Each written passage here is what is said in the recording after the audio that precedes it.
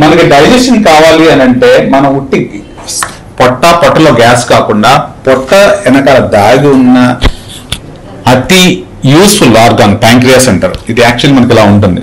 So మనం తీసుకున్న ఆహారం ఏదైనా చికెన్ కానీ మటన్ కానీ ఇంత మొక్క ఉన్న దాన్ని అతి పొడిగా చేసి బాడీలోకి వెళ్తుంది అని అంటే కారణం ప్యాంక్రియాస్ డైజెషన్ అక్కడ మేజర్గా స్టార్ట్ అవుతుంది మన డైజెషన్ పొట్టలో స్టార్ట్ అవుతుంది అనుకున్నది ఓన్లీ మెట్టగా చేయడం వరకే ఆ మెత్తగా చేసిన దాన్ని ప్రాసెస్ చేయటం అనేది ఇక్కడ స్టార్ట్ అవుతుంది. సో ఇది ఎలా ఉంటుంది అని అంటే మనము వంట కూరగాయలు తెచ్చుకుంటాం కదా. కూరగాయలు తెచ్చుకుంటే కూర అవ్వదు. దాన్ని ఉడకబెట్టిన తర్వాత దాంట్లో ప్రాసెస్ చేసిన తర్వాత ఎట్లయితే అవుతుందో. సో దాని నుంచి వచ్చేదే ఈ ప్యాంక్రాటిక్ జ్యూస్ ఎంజైమ్స్ సో ఇది చాలా మందికి చాలా రకాలుగా పనిచేయకపోవచ్చు. కొంతమందికి ఆటో ఇంజిన్ ప్యాంకెటైటిస్ అంటారు. వాళ్ళకి ఎందుకు అవుతుందో కూడా తెలియదు కొంతమందికి ప్యాంక్లియస్ రాళ్ళు ఉంటాయి కొంతమందికి ఆల్కహాల్ వల్ల ప్రాబ్లం ఉంటుంది. కొంతమందికి సర్జరీ చేసి ప్యాంక్లియస్ తీసేస్తూ ఉంటారు.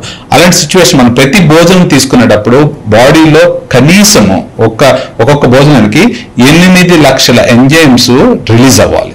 సో ప్రతి అంటే ఎంత ఇదిగా వర్క్ చేస్తుందో చూడండి. అలాంటి సిచ్యువేషన్లో ఈ పర్టికులర్ పేషెంట్కి రిలీజ్ అయింది రెండు. ఏమా సో మా మదర్ ఏం ఫేస్ చేశారు ఆ టైంలో? చాలా వీక్నెస్ ఉండేది. వీక్నెస్ ఉండేదా?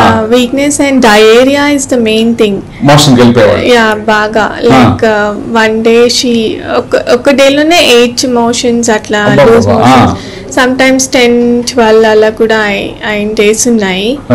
And we couldn't trace the problem what exactly is happening. So అందుకనేసి ఇక్కడికి వచ్చాము.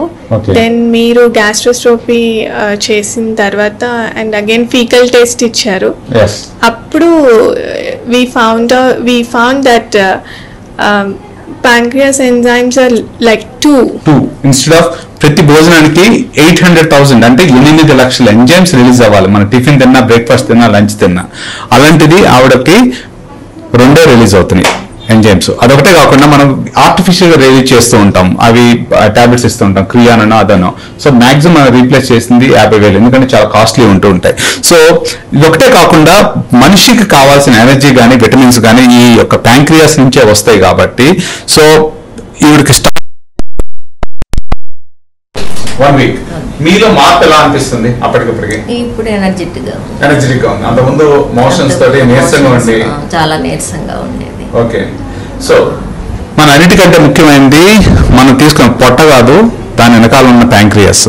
సో ఎటువంటి కడుపులో నొప్పి వచ్చినా వెయిట్ గెయిన్ అవ్వకపోయినా మోషన్స్ వచ్చినా ఇలాంటి సిచ్యువేషన్స్ ఏమన్నా కానీ contact for expert opinion on pancreas thank you